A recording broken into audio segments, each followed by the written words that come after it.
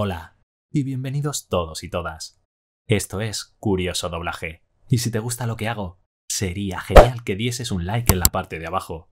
Y ya que estás, y si quieres aportar algo o simplemente debatir, deja un comentario, que es gratis y suelen estar súper entretenidos los debates. Y por último, si quieres apoyarme y estar al tanto de lo que hago, justo ahí al ladito tienes el botón de suscribirte y la campana de notificaciones para no perderte nada. Ah, y no quería dejar de agradecer a todos los miembros y mecenas del canal que hacen esto posible. Y recordad, si podéis llevar vuestra membresía desde YouTube a Patreon os lo agradecería muchísimo. Aún así, gracias a todos. Siento haber interrumpido. Espero que lo disfrutes.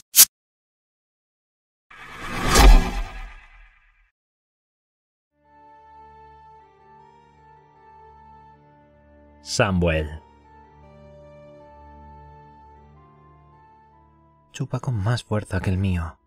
Ellie acariciaba la cabeza del bebé mientras lo sostenía contra el pecho. Es que tiene hambre, dijo Val, la mujer rubia a la que los hermanos negros llamaban la princesa salvaje. Hasta ahora ha vivido de leche de cabra y de las pócimas que le hacía el maestre ciego. El niño aún no tenía nombre, como tampoco lo tenía el de Ellie. Era la costumbre de los salvajes. Por lo visto, ni siquiera el hijo de Mans Rider tendría un nombre hasta que llegara su tercer año, aunque Sam había oído a los hermanos llamarlo el principito o el nacido en la batalla. Contempló cómo el niño mamaba del pecho de Ellie y luego se fijó en cómo lo miraba John. John está sonriendo. Una sonrisa triste, sí, pero al menos era una sonrisa. Sam se alegró de verla. Es la primera vez que lo veo sonreír desde que volvió. Habían caminado desde el fuerte de la noche hasta el lago hondo y luego del lago hondo a Puerta de la Reina, siempre por un sendero angosto que iba de un castillo al siguiente sin perder nunca de vista el muro. A un día y medio del castillo negro, mientras se forzaban a seguir la marcha con los pies encallecidos, Eli oyó caballos tras ellos y se volvió para ver una columna de jinetes negros que procedían del oeste. Mis hermanos, la tranquilizó Sam. Por este camino no va nadie más que la guardia de la noche. Resultó que era Sir Dennis Malister de la Torre Sombría con un herido Bowen Mars y los supervivientes de la batalla del Puente de los Cráneos. Cuando Sam vio a Diwen, a Gigante y a Ed Tolet el Penas, se derrumbó y se echó a llorar. Fueron ellos los que le relataron la batalla que había tenido lugar al pie del muro. Stannis llegó a Guardia Oriente con sus caballeros y Cotter Pike lo guió por los caminos de los exploradores para coger desprevenidos a los salvajes. Le contó Gigante. Los destrozó. Mas Ryder cayó prisionero y perdió un millar de sus mejores hombres, entre ellos Harma Cabeza de Perro. Por lo que nos han dicho, los demás se dispersaron como hojas en una tormenta. Los dioses son bondadosos, pensó Sam si no se hubiera extraviado cuando él y él iban hacia el sur tras huir del torreón de Craster, se habrían topado de frente con la batalla, o como mínimo, se habrían metido en el campamento de Mans. A él y al niño les habría ido bien, pero a él no. Sam había oído anécdotas sobre lo que hacían los salvajes con los cuervos capturados. Se estremeció. Pero nada de lo que le contaron sus hermanos pudo prepararlo para lo que se encontró al llegar al Castillo Negro. La sala común había ardido hasta los cimientos y de la gran escalera de madera solo quedaban montones de hielo quebrado y troncos chamuscados. Donald Noye había muerto, igual que Rast, Dick el Sordo, Alin el Rojo y otros muchos, pero el castillo estaba lleno de gente como jamás lo había visto Sam. En su mayoría no eran hermanos negros, sino soldados del rey, más de un millar. Por primera vez que se recordara, había un rey en la torre del rey y ondeaban los estandartes en la lanza, en la torre de Jardín, en el torreón gris y en el torreón del escudo, y también en otros edificios que llevaban años abandonados. El grande, el dorado con el venado negro, es el estandarte real de la casa Baración, le dijo a Eli, que no había visto nunca un estandarte. El del zorro con las flores es el de la casa Florent, la tortuga es el de Stermont el pez espada es el de Bar Emon y las trompetas cruzadas son de Wensington. Tienen tantos colores como las flores. Eli señaló en dirección a uno. Me gustan aquellos, los amarillos con el fuego. Y mira, algunos guerreros llevan el mismo dibujo en los jubones. Un corazón llameante. No sé a qué casa corresponde ese blasón. No tardó en averiguarlo. Son los hombres de la reina, le dijo Pip después de lanzar un grito de alegría y proclamar Atrancad las puertas, muchachos. Es Sam el mortífero. Ha vuelto de la tumba. Mientras Grell lo abrazaba con tal fuerza que pensó que le iba a romper las costillas. Pero mejor no preguntes dónde está la reina. Stannis la dejó en Guardia Oriente con su hija y toda su flota. No ha venido con más que la mujer roja. ¿La roja? repitió Sam, inseguro. Melisandre de Asai, dijo Gren. La hechicera del rey. Se dice que quemó vivo a un hombre en Rocadragón para que Stannis tuviera vientos favorables en su viaje hacia el norte. También cabalgó junto a él en la batalla y le dio una espada mágica. Se llama Dueña de Luz, ya la verás. Brilla como si tuviera dentro un trozo del sol. Miró de nuevo a Sam y sonrió con una sonrisa amplia, bobalicona. Aún no me puedo creer que estés aquí. John Nieve también había sonreído al verlo, pero con una sonrisa cansada como la que tenía en aquel momento. Así que lo has logrado, dijo. Además, has traído a Ellie. Bien hecho, Sam. Por lo que explicaba Gren, John lo había hecho bastante mejor que bien. De todos modos, y aunque había conseguido el cuerno del invierno y a un príncipe salvaje, nada de ello parecía ser suficiente para que Ser y Serzón y sus amigos dejaran de llamarlo cambiacapas. El maestro Amon decía que la herida se le estaba curando bien, pero que John tenía también otras cicatrices más profundas que la que le rodeaban el ojo. Llora por su chica salvaje y por sus hermanos. Qué curioso, comentó Sam. Craster no sentía ningún aprecio por Mans, ni Mans por Craster, pero ahora la hija de Craster está amamantando al hijo de Mans. Yo tengo leche, dijo Ellie en voz baja, tímida. El mío toma solo un poco, no es tan codicioso como este. Val, la mujer salvaje, se volvió para enfrentarse a ellos. He oído hablar a los hombres de la reina. Dicen que la mujer roja quiere quemar a Mans en cuanto recupere las fuerzas. Mans es un desertor de la Guardia de la Noche. John le lanzó una mirada llena de cansancio. Eso se castiga con la muerte. Si lo hubiera capturado la Guardia, ya lo habrían ahorcado, pero es prisionero del rey y nadie sabe qué piensa el rey excepto la mujer roja. Quiero verlo, dijo Val. Quiero enseñarle a su hijo. Al menos se merece eso antes de que lo matéis. Nadie puede verlo, excepto el maestro Amon, mi señora. Intentó explicarle Sam. Si de mí dependiera, más podría abrazar a su hijo. La sonrisa de John se había desvanecido. Lo siento mucho, Val. Se volvió. Sam y yo tenemos que ocuparnos de nuestras obligaciones. Bueno, al menos Sam. Preguntaremos si puedes visitar a Mans. Es lo único que te prometo. Sam se demoró un instante para dar un apretoncito en la mano a Ellie y prometerle que regresaría después de la cena. Luego se apresuró en pos de John. Había guardias ante la puerta, hombres de la reina armados con lanzas. John ya estaba a medio camino del tramo de escaleras, pero se detuvo a esperar cuando oyó a Sam jadear tras él. Le tienes algo más que cariño a Ellie, ¿verdad? Ellie es buena. Sam se había sonrojado. Es buena y amable. Se alegraba de que hubiera terminado la larga pesadilla, se alegraba de volver a estar con sus hermanos en el castillo negro, pero algunas noches, a solas en su celda, recordaba el calor que emanaba el cuerpo de Ellie cuando se acurrucaban bajo las pieles, con el bebé entre ambos. Ella me hizo más valiente, John. No valiente, pero sí un poco valiente. Sabes que no puedes seguir con ella, le dijo John con cariño. Igual que yo no podía seguir con Ygritte. Pronunciaste el juramento, Sam, igual que yo, igual que todos nosotros. Ya lo sé, Ellie dijo que sería mi esposa, pero le conté lo del juramento y le expliqué qué significaba. No sé si se puso contenta o triste, pero se lo conté. Tragó saliva, nervioso. John, puede haber honor en una mentira si es por una... por una buena causa. Según la mentira y su causa. John lo miró. No te lo recomiendo. No vales para mentir, Sam. Te sonrojas, tartamudeas y te salen gallos. Es verdad, dijo. Pero podría mentir en una carta. Con la pluma en la mano se me da mejor. Es que se me ha ocurrido una idea. cuando las cosas se calmen un poco por aquí, he pensado que lo mejor para Ellie sería...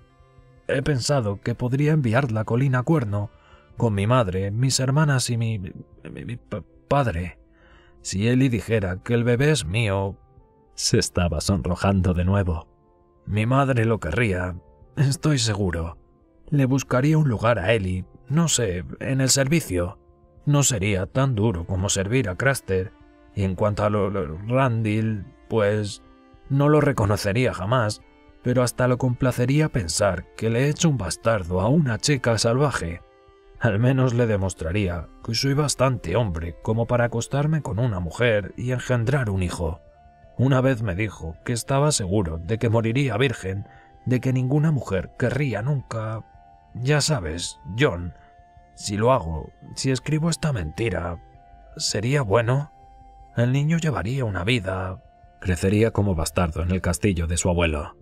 John se encogió de hombros. No sé, depende en buena parte de tu padre y de cómo sea el niño.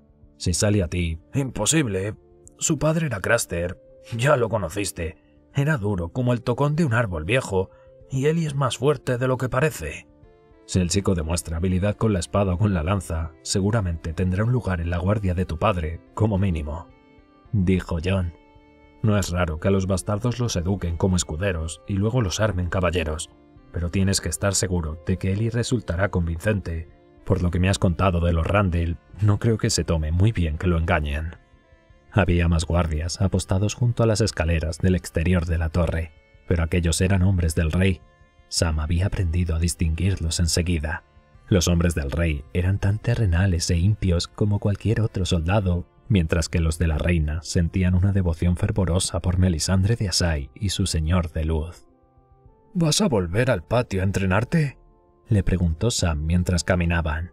¿Crees que es conveniente tanto entrenamiento antes de que se te termine de curar la pierna? ¿Qué otra cosa puedo hacer? John se encogió de hombros. Mars me ha apartado del servicio. Teme que siga siendo un capas. Eso solo lo piensan unos pocos, lo tranquilizó Sam. Será Alicer y sus amigos. La mayoría de los hermanos saben que no es verdad. Seguro que el rey Stannis también lo sabe. Le trajiste el cuerno del invierno y capturaste al hijo de Mans Rider. Solo protegí a Val y al bebé de los saqueadores cuando huyeron de los salvajes y los defendí hasta que nos encontraron los exploradores. No capturé a nadie. Desde luego, es obvio que el rey Stannis tiene bien controlados a sus hombres. Los deja saquear hasta cierto punto pero hasta ahora solo he oído que violaran a tres mujeres salvajes y han castrado a los culpables. Me imagino que tendría que haber estado matando al pueblo libre mientras huía. Ser Alicer no para de decir que la única vez que desenvainé la espada fue para defender a nuestros enemigos. Según él, no maté a Mas Rider porque estábamos compinchados. Eso no lo piensa más que Ser Alicer, dijo Sam. Y ya saben todos cómo es. Con su alta cuna, su rango de caballero y sus muchos años de servicio en la guardia, Ser Aliserzón podría haber sido un buen candidato para el título de Lord Comandante, pero todos los hombres que había entrenado mientras había ejercido como maestro de armas lo despreciaban. Su nombre se había barajado, por supuesto, pero tras quedar en un triste sexto lugar el primer día y llegar incluso a perder votos el segundo, Thorn se había retirado para dar su apoyo a Lord Janos Slint. Lo que todos saben es que Ser Alicer es un caballero de noble estirpe, hijo legítimo, mientras que yo soy el bastardo que mató a Quori media mano y se acostó con una mujer de las lanzas. Me llaman cambiapieles, los he oído. A ver, ¿cómo puedo ser un cambiapieles si no tengo lobo? Frunció los labios. Ya ni siquiera sueño con fantasma. Todos mis sueños transcurren en las criptas, con los reyes de piedra en sus tronos. A veces oigo la voz de Rob y la de mi padre, como si estuvieran en un banquete, pero nos separa un muro y sé que no estoy invitado. Los vivos no están invitados a los banquetes de los muertos. A Sam se le rompía el corazón, pero tenía que guardar silencio. Bran no está muerto, John. Habría querido decirle. Está con unos amigos. Viajan hacia el norte a lomos de un alce gigante en busca de un cuervo de tres ojos que vive en lo más profundo del bosque encantado. A él mismo le sonaba tan demencial que a veces pensaba que lo había soñado todo, que había sido una escena fruto de la fiebre, el miedo y el hambre. Pero de todos modos se lo habría contado de no ser porque había dado su palabra. Tres veces había tenido que jurar que mantendría el secreto, una al propio Bran, otra a aquel extraño muchachito, Jojen Reed, y la última manos frías. El mundo cree que el chico está muerto, le había dicho su salvador en el momento de separarse. Deja que sus huesos descansen en paz. No queremos que vengan a buscarnos. Júralo, Samuel de la Guardia de la Noche. Júralo por la vida que me debes. Sam se agitó, inquieto y triste. Lord Janus no será elegido Lord Comandante. Era el mejor consuelo que podía ofrecer a John, el único consuelo. De verdad. Sam, eres un bobo encantador. Abre los ojos. Esto lo pusieron en marcha hace días. John se apartó el pelo de los ojos. Sé pocas cosas, pero de esa no me cabe duda. En fin, discúlpame. Tengo que ir a golpear a alguien con una espada. Sam no pudo hacer más que mirar cómo se alejaba hacia la armería y el patio de entrenamiento. Allí era donde John Nieve pasaba la mayor parte de sus horas de vigilia. Muerto Serendrio y desinteresado Ser Alicer, el Castillo Negro no tenía maestro de armas, de modo que John se había echado sobre los hombros la tarea de trabajar con algunos de los reclutas más verdes. Seda, Caballo, Petirrojo Saltarín con su pie Zambo, Aaron y Enric. Y cuando estaban de servicio, se entrenaba solas durante horas con la espada, el escudo y la lanza, o se medía con cualquiera que se presentara voluntario. Sam, eres un bobo encantador, las palabras de John le resonaron durante todo el camino de vuelta hacia el torreón del maestre. Abre los ojos. Esto lo pusieron en marcha hace días. ¿Sería posible que tuviera razón? Cualquier candidato necesitaba los votos de dos tercios de los hermanos juramentados para convertirse en Lord Comandante de la Guardia de la Noche, y tras nueve días y nueve votaciones no había ninguno que estuviera ni siquiera cerca de ese porcentaje. Lord Janos había estado ganando terreno, sí, Primero había superado a Bowen Mars y luego a Othel Jarwick, pero seguía muy por detrás de Sir Dennis Malister de la Torre Sombría y de Cotter Pike de Guardia Oriente del Mar. Uno de ellos será el nuevo Lord Comandante, no cabe duda, se dijo Sam. Stannis también había puesto guardias ante la puerta del maestre. En las estancias hacía calor. Estaban abarrotadas de hombres heridos en la batalla, tanto hermanos negros como soldados del rey y soldados de la reina. Clidas caminaba entre ellos con jarras de leche de cabra y vino del sueño, pero el maestre Aemon aún no había regresado de su visita matutina a Mans Rider. Sam colgó la capa de un clavo y subió para ayudar, pero incluso mientras hacía recados, daba de beber y cambiaba vendas, las palabras de John le seguían resonando en los oídos. Sam, eres un bobo encantador. Abre los ojos. Esto lo pusieron en marcha hace días. Pasó más de una hora antes de que encontrara ocasión de excusarse para ir a atender a los cuervos. De camino a la pajarera, se detuvo para mirar el recuento que había hecho de la votación de la noche anterior. Cuando empezó todo, se habían presentado más de 30 hombres, pero prácticamente todos se retiraron en cuanto quedó claro que no tenían ninguna posibilidad de ganar. Desde la noche anterior solo quedaban siete, Sir Dennis Malister había conseguido 213 fichas, Cotter Pike 187, Lord Slin 74, Othel Jarwick 60, Bowen Mars 41, Hop 3 dedos 5 y Ed Tolet del Penas 1. Pip y sus bromas tontas. Sam pasó páginas para consultar recuentos anteriores. Sir Dennis, Cotter Pike y Bowen Mars habían estado perdiendo votos desde el tercer día y Othel Jarwick desde el sexto. El único cuyas cifras mejoraban día tras día era los llanos Slint. Los pájaros graznaban en la pajarera, de modo que dejó los papeles y subió por las escaleras para darles de comer. Comprobó con satisfacción que habían llegado tres cuervos más. ¡Nieve! Graznaron. ¡Nieve! ¡Nieve! ¡Nieve! Era la palabra que les había enseñado. Pese a los nuevos cuervos, la pajarería parecía muy vacía. De los pájaros que había enviado Aemon, solo unos pocos habían regresado por el momento. Pero uno llegó a Stannis, uno llegó a Rocadragón, a un rey al que todavía le importamos. A mil leguas hacia el sur, Sam sabía que su padre había puesto la casa Tarly al servicio de la causa del chico que ocupaba el trono de hierro, pero ni el rey Joffrey ni el pequeño rey Tommen habían hecho ningún gesto cuando la guardia pidió ayuda. ¿De qué sirve un rey que no defiende a su reino? Pensó furioso al recordar la noche en el puño de los primeros hombres y el terrible viaje hasta el torreón de Craster en medio de la oscuridad entre la nieve y el miedo. Cierto, los hombres de la reina lo incomodaban, pero al menos estaban allí. Aquella noche, a la hora de la cena, Sam buscó a John Nieve, pero no se encontraba en la gigantesca cripta de piedra donde comían los hermanos. Acabó por ocupar un lugar en el banco cerca de sus otros amigos. Pip estaba hablando con Ethel Penas de la competición para ver cuál de los soldados de paja recibía más flechas de los salvajes. Casi todo el día fuiste por delante, pero el último día, Watt de Lago Largo recibió tres y te adelantó. Nunca gano nada, se quejó Ethel Penas. En cambio, los dioses siempre sonrieron a Watt. Cuando los salvajes lo derribaron en el puente de los cráneos, no cayó sobre las rocas, sino en un estanque. Eso sí que es tener suerte. ¿Cayó desde muy arriba? quiso saber Gren. ¿Salvó la vida al caer en el estanque? No, replicó Ethel Penas. Ya estaba muerto. Le habían partido la cabeza de un hachazo, pero tuvo la suerte de no caer contra las rocas. Job Tres Dedos les había prometido a los hermanos una patasada de mamut para aquella noche, tal vez con la esperanza de arañar unos cuantos votos. Si era eso lo que pretendía, tendría que haber buscado un mamut más joven. Pensó Sam mientras se sacaba una hebra de ternilla de entre los dientes. Dejó la comida a un lado con un suspiro. Pronto habría otra votación y la tensión que se palpaba en el aire era más espesa que el humo.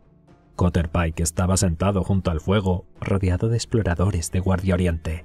Sir Dennis Malister ocupaba un lugar cercano a la puerta, con un grupo más reducido de hombres de la Torre Sombría. Janus Slint tiene el mejor lugar, advirtió Sam, a medio camino entre las llamas y la corriente. Se alarmó al ver junto a él a Bowen Mars, ojeroso y demacrado, con la cabeza todavía vendada, pero escuchando lo que fuera que estuviera diciendo los llanos se lo comentó a sus amigos. Y mira allí, le dijo Pip. Ser Alicer está hablando a Ozel Jarwick al oído. Después de la cena, el maestre Amon se levantó para preguntar si algún hermano quería tomar la palabra antes de votar con las fichas.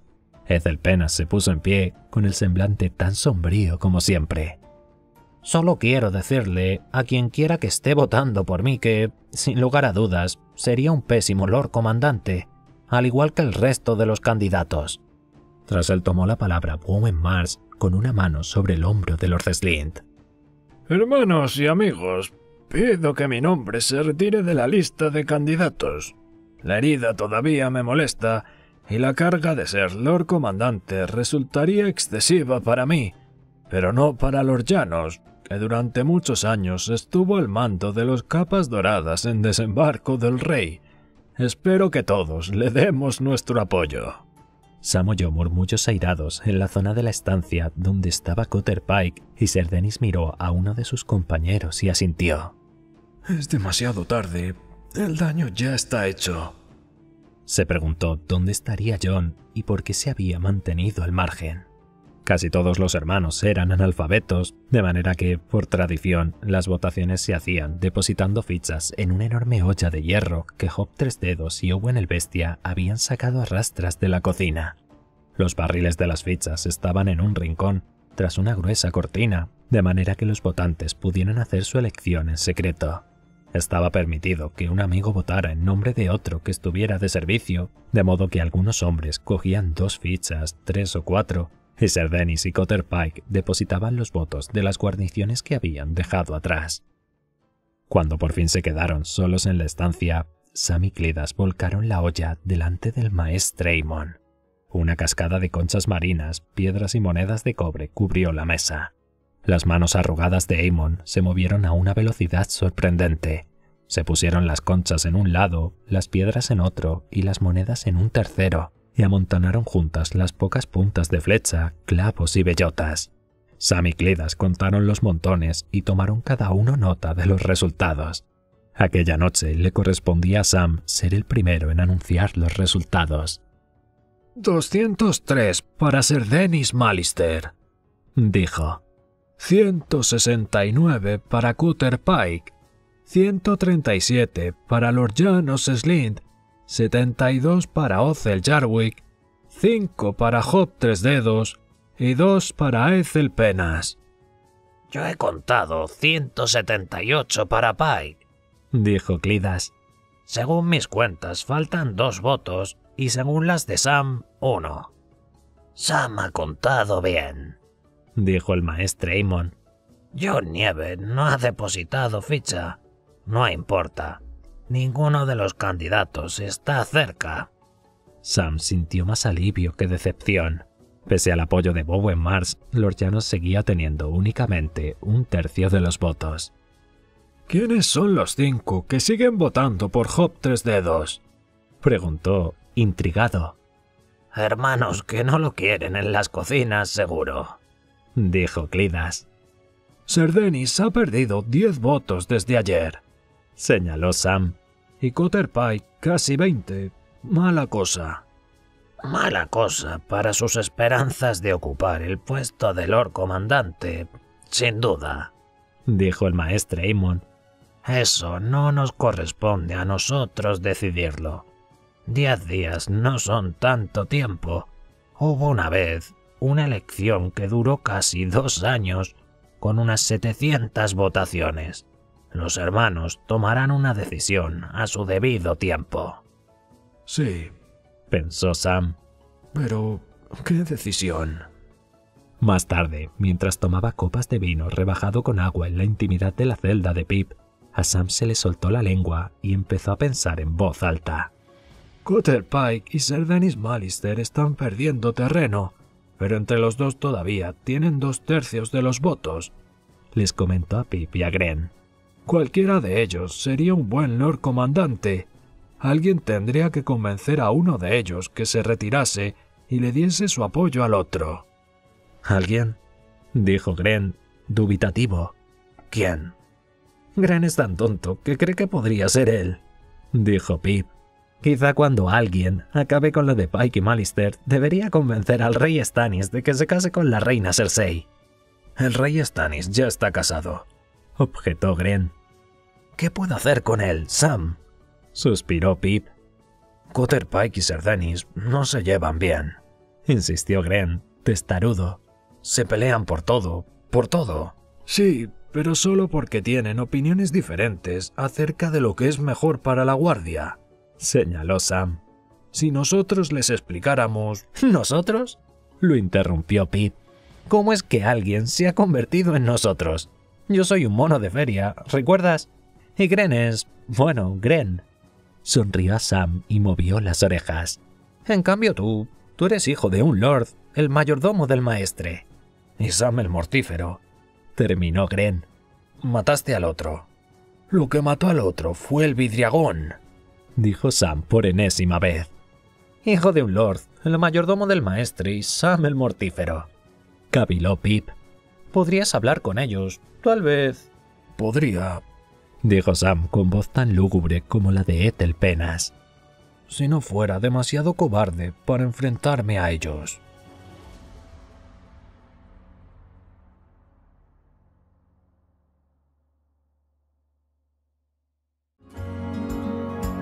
Gracias a todos.